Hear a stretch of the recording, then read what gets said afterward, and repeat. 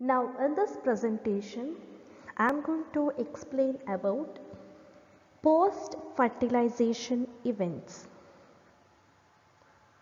In my previous classes I had told about double fertilization or triple fusion right. The events which takes place after the double fertilization are called the post fertilization changes or the events. Now let us have a look at these events. The post fertilization events includes the formation of endosperm and embryo development, maturation of ovules into seeds and ovaries into fruit. These four are the post fertilization changes which takes place in the flower. Now let us study one by one. The first one is the endosperm. Endosperm is a nutritive tissue which is formed from primary endosperm nucleus and this nourishes the developing embryo. Next is the triploid cells of an endosperm are filled with the reserve food materials. As you all know that the PEN contains triploid cell. So, the triploid cell it is with reserve food material and these can be used for the nutrition of the developing embryo. And in most of the species the endosperm development takes place when the PEN undergoes the nuclear division. And this PEN undergoes nuclear division and forms the free nuclear endosperm. And subsequently the cell wall formation takes place and the cell wall formation leads to the formation of the cellular endosperm. Here you can see the PEN it undergoes the nuclear division and this is called the free nuclear endosperm what I am showing you and the second diagram here what I am showing you it is the formation of the cell wall and it leads to the formation of cellular endosperm. So, this is free nuclear and this is cellular endosperm. The coconut water what will take from the tender coconut it is nothing else but the water inside it. So, these are nothing else but the free nuclear endosperm and this outside kernel white color is there no this portion what I am showing you. So, this outside kernel portion is called cellular endosperm. Okay.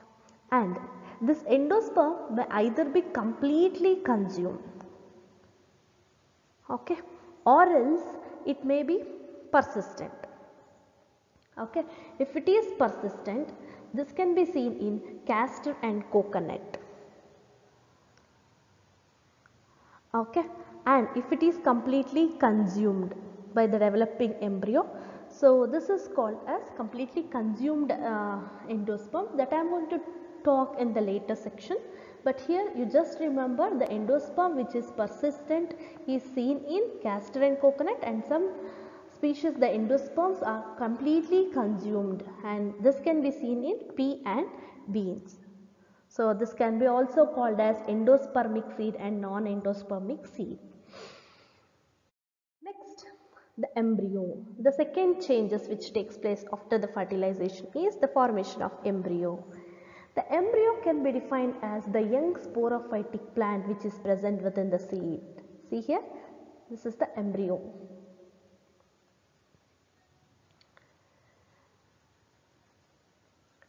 Next, in the early stages of development that is called embryogeny. Embryogeny means the early stages of development of embryo and usually the embryo develops at the micropylar region. See here this is the embryo what I am showing you.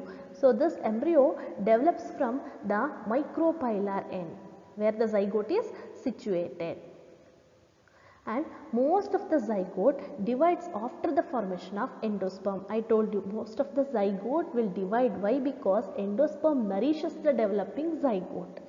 That is the reason why most of the zygote divides after the formation of endosperm. This zygote gave rise to proembryo, then globular embryo, then heart shaped embryo and finally it turns into mature embryo. This is how embryo is formed. Let me tell you how exactly the embryo formation takes place. So this is the embryo formation what I am showing you in a dicot but uh, both are same but except in dicot there are two cotyledons that's it. See this is a fertilized egg. So after this it divides into the upper portion is called apical cell and the lower portion is called basal cell. The cells divides okay and see here the basal cells remains the same and here at the mid it forms uh, 10 to 12 cells and that is called suspensor cell. Okay? And uh, finally it gives the grip. And see here the shape what I am showing you here is globular. And this is triangular shape. And this is the heart shaped embryo. And next it is torpedo shaped embryo and next finally it gives rise to mature embryo. These are the stages of development of embryo and that embryo gave rise to uh, monocot or dicot. Next, let us have a look at the dicot embryo. The dicot embryo consists of an embryonal axis and two cotyledons. Dicot means two cotyledons. And the portion which is found above the cotyledon. Okay. And this is above the cotyledon and this cotyledon which is present uh, sorry the portion which is present above the cotyledon it is called epicotyl region and epicotyl terminates in this plumule region and this is also known as the stem tip and the cylindrical portion is called the hypocotyl. See here this is the cylindrical portion and uh, this portion is known as the hypocotyl. Hypocotyl terminates in see this region. So this is called the lower part or this terminates in radicle or root tip. See this is radicle or a root tip and this is covered by a cap like structure and that is called root cap. And I have already told you that the zygote undergoes the mitotic division to form two cell that is the basal cell and the apical cell. The basal cell forms a 6 to 10 celled structure called suspensor right and the terminal cell give rise to the globular shape, heart shaped and finally mature embryo. In this the mature embryo is made up of two cotyledons hence the name it is dicot embryo.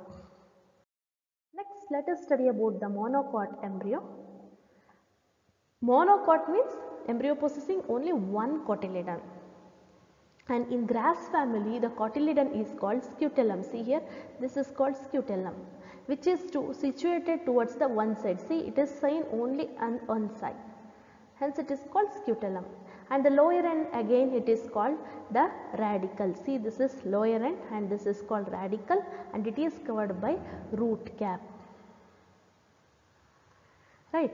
And here the cotyledon is enclosed in a sheath and that sheath is called coleorrhiza the portion above the embryonal axis. It is called epicotyl portion.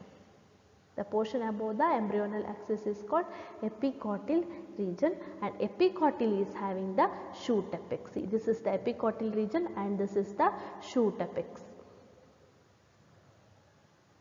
And this epicotyl is also having few leaf primordia that is leaf arises from that region. Okay. Next that means leaf stem leaf tree like structure arises. Then here these are enclosed in coleoptile region.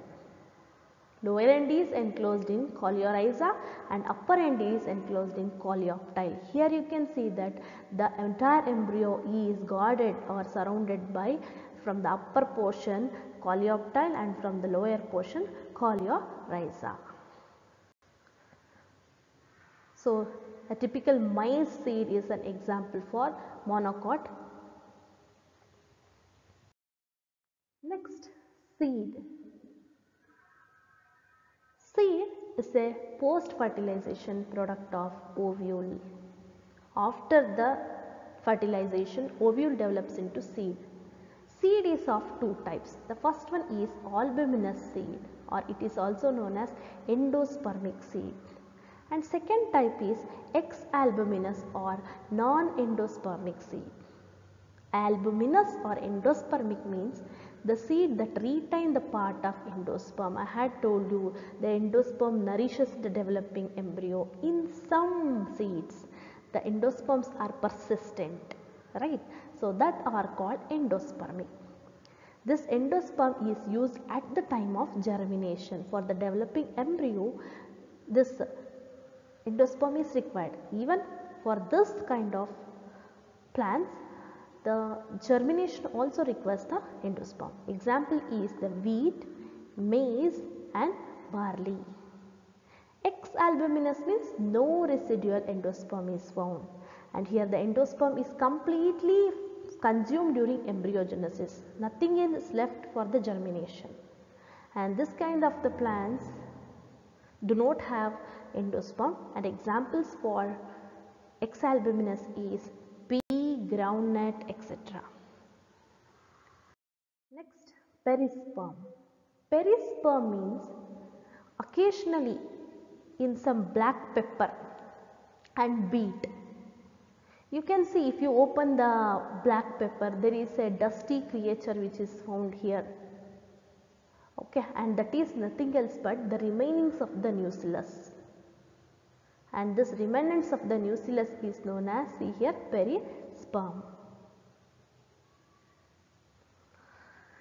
And what happens next?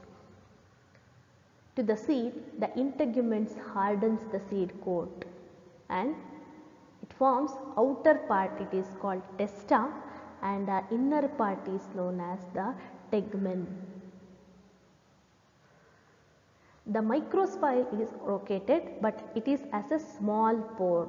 See here this is micropyle. So this micropyle can be seen as a small pore and this micropyle facilitate the entry of the oxygen and water during germination. And seeds undergo a special kind of uh, phenomenon and that is called dormancy. Okay. So as the seed matures the water content in the seed is reduced and its metabolic activity whatever the activity is doing so it will be reduced again and it will become inactive. Almost it will become zero metabolic activity. And this condition is known as dormancy or sleeping condition. And when the favorable conditions appear again that means when the temperature becomes okay when adequate moisture is provided okay when oxygen is provided the seed germinates again to form a new plant so this is known as dormancy condition. Fine. Next let us study about the advantages of seeds to angiosperms. So why we need uh, seeds? Why angiosperms need seeds? The first reason is seeds forms the better adaptive strategies for the dispersal of the new habitat. That means if you disperse the seeds into any habitat even in the cold condition or any other habitat.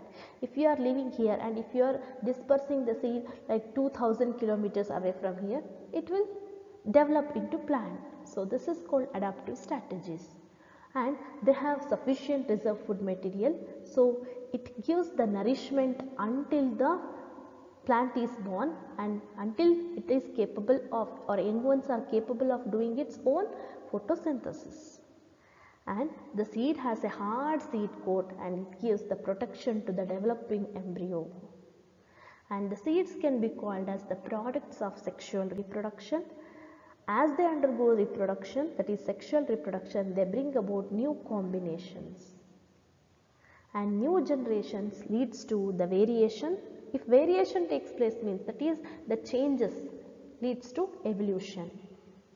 These all terms you are going to understand when I start doing the evolution lesson. Okay.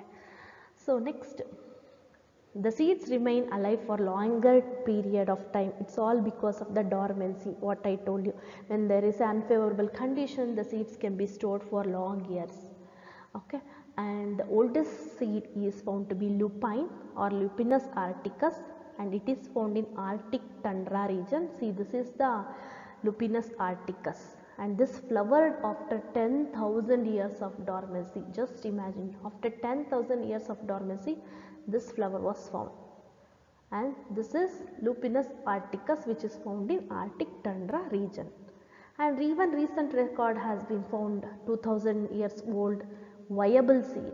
Viability means living so that is a date palm called Phoenix dactylifera so this is a date palm 2000 year old date palm and this is found in King Herod's palace near the Dead Sea. So, these are the, some of the advantages of the seeds to angiosperm. Next is the fruit. Fruit means it is a ripened ovary. After fertilization, ovary turns into fruit. The ovary is covered by a fruit wall and that is called pericarp. This pericarp is having exocarp, mesocarp, endocarp. The outer exo is also called as epicarp. Middle one is called mesocarp and inner one is called endocarp. There is a special kind of a fruit called parthenocarpic fruit. That means sometimes the ovary without fertilization it forms a fruit. So this is called parthenocarpic fruit. Example for parthenocarpic is banana. Next, fruit is of two types, the true fruit and false fruit.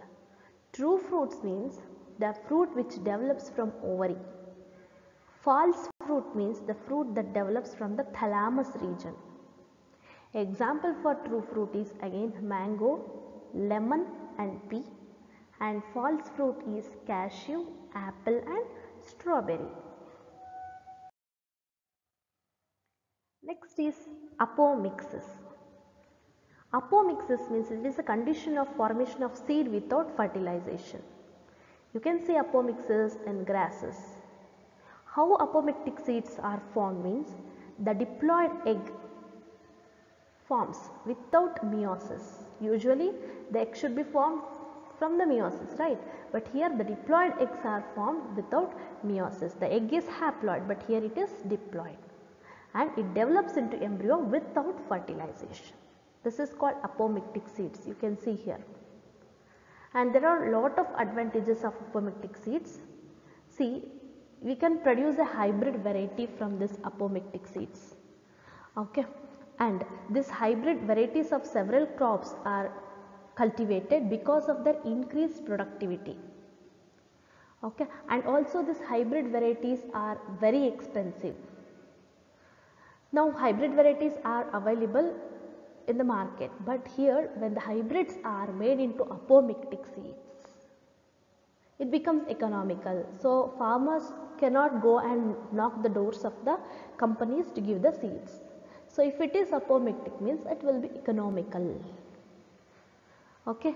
So this is the one thing and also uh, seed farmers can keep on using the hybrid seeds every like rotation they can do year after the year and uh, he does not have to buy the hybrid seeds every year.